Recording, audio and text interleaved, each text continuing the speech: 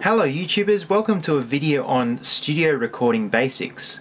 Now this is a video designed for people who are wanting just to start in audio recording, either recording music or recording podcasts. You might ask, what are the ingredients that I need or the pieces of equipment that I need to record audio or sound? Now the four things that you'll need are a microphone, a microphone preamplifier, a audio interface and a DAW or a recording program. The first thing that you require is a microphone.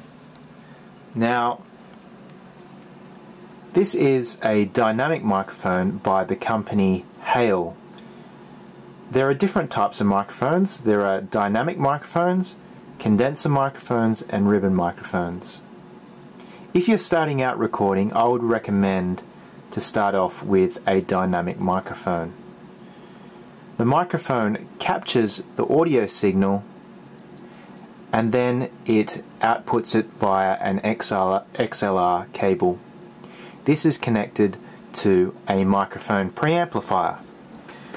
Now over here we have some examples of microphone preamplifiers.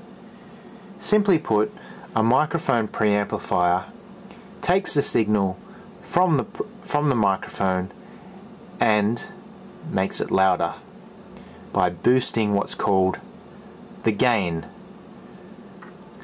So it boosts the gain or the signal that is being captured by the microphone and then outputs it at a level of your choice.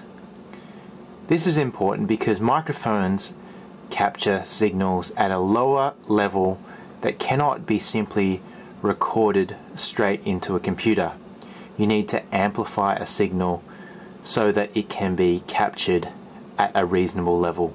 And this is why you need a microphone preamplifier. So the sound comes out of the microphone preamplifier and gets sent to a audio interface now this is the Avid MBox 3 Pro. What an audio interface does is it takes the signal which has been either sent from the microphone preamplifier or in this case we have the microphone connected to the audio interface which has a microphone preamplifier inbuilt in it and a lot of audio interfaces do so you adjust the gain just like you're adjusting the gain on that other preamp. And you can see it's being captured into the audio interface and then being sent via a cable, either a USB cable or a Firewire cable to the computer. And then the computer, uh, the program that you're using or the DAW uh, captures the sound. And here is a video of the Pro Tools program. It's a very common program used by audio engineers. So the four things that you need to record are a microphone, a microphone preamplifier, an audio interface, much of many of which have a preamplifier inbuilt in them, and a piece of recording software or DAW. I hope this helps.